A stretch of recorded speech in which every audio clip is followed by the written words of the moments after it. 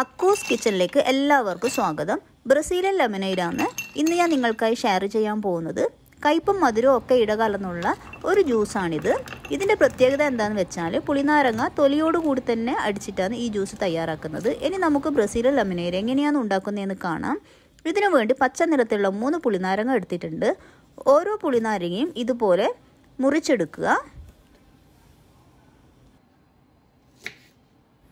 അതിനുശേഷം ഇതിനകത്തുള്ള കുരു എടുത്തു മാറ്റണം. വലിയ കഷ്ണങ്ങളാക്കി മുറിച്ചാൽ ചിലപ്പോൾ ഇത് നന്നായിട്ട് അടിഞ്ഞു കിട്ടില്ല. അതുകൊണ്ട് വീണ്ടും ഇതിനെ ചെറിയ പീസാക്കി എടുക്കാം.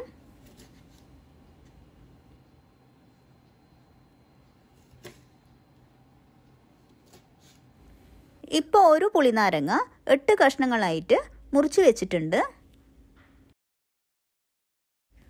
ഇതുപോലെ മൂന്ന് പുളിനാരങ്ങയും ചെറിയ കഷ്ണങ്ങളാക്കി എടുത്തിട്ടുണ്ട്. ഇതിനകത്തുള്ള കുരുകളൊക്കെ എടുത്ത് മാറ്റിയിട്ടുണ്ട്. മുറിച്ചെടുത്ത ഈ നാരങ്ങ ഒരു ബ്ലെൻഡറിലേക്ക് ഇട്ട് കൊടുക്കാം.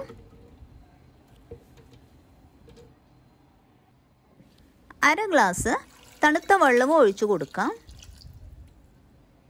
നന്നായിട്ടൊന്ന് ബ്ലെൻഡ് ചെയ്തെടുക്കാം. ഇനി ഇതൊന്ന് അരിച്ചെടുക്കണം.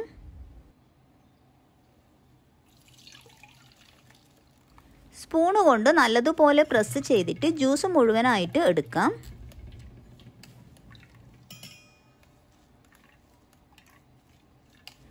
ഇപ്പോൾ ഇത് നന്നായിട്ട് അരിച്ചെടുത്തിട്ടുണ്ട്.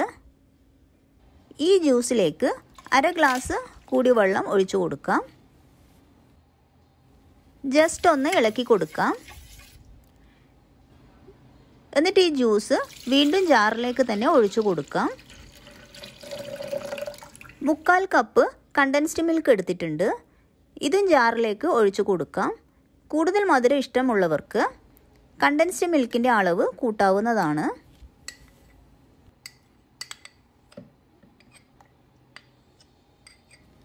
മുക്കാൽ കപ്പ് പഞ്ചസാര എടുത്തിട്ടുണ്ട്. ഇതും ജാറിലേക്ക് ഇട്ട് കൊടുക്കാം. പിന്നെ കുറച്ച് ഐസ് ക്യൂബ്സ് കൂടി ആഡ് ചെയ്യാം. വീണ്ടും ഒന്നുകൂടി നന്നായിട്ട് അടിച്ചെടുക്കാം. ഇപ്പോൾ ഈ ലെമനേഡ് നല്ല ക്രീമി ടെക്സ്ചറിൽ കിട്ടിയിട്ടുണ്ട്. ഗ്ലാസ്സിലേക്ക് ഒഴിക്കുന്നതിന് മുന്നേ കുറച്ച് ഐസ് ക്യൂബ്സ് ഇട്ട് കൊടുക്കാം. അതിനുശേഷം ലെമനേഡ് ഗ്ലാസ്സിലേക്ക് ഒഴിക്കാം.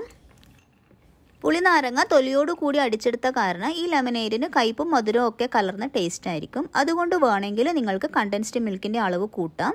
നല്ല ടേസ്റ്റ് തന്നെയാണ് ഈ ലെമനേരിന് നല്ല ക്രീമി ആയിട്ട് തന്നെയാണ് ഈ ലെമനേര് ഉള്ളത്. പുളിനാരങ്ങ നേരിയതാക്കി മുറിച്ചിട്ട് ഗ്ലാസ് ഡെക്കറേറ്റ് ചെയ്യാം. സബ്സ്ക്രൈബ് ചെയ്യാതെ ആരെങ്കിലും വീഡിയോ കാണുന്നുണ്ടെങ്കിൽ ഒന്ന് സബ്സ്ക്രൈബ് ചെയ്യണേ. കൂടെയുള്ള ബെല്ലൈക്കൺ കൂടി ഒന്ന് പ്രസ് ചെയ്യുകയാണെങ്കിൽ ഞാനിടുന്ന വീഡിയോന്റെ നോട്ടിഫിക്കേഷൻ നിങ്ങൾക്ക് അപ്പോൾ തന്നെ കിട്ടുന്നതായിരിക്കും. വീഡിയോ ഇഷ്ടപ്പെടുവാണെങ്കിൽ ലൈക്ക് ചെയ്യാനും ഷെയർ ചെയ്യാനൊന്നും മറന്നു പോകരുത്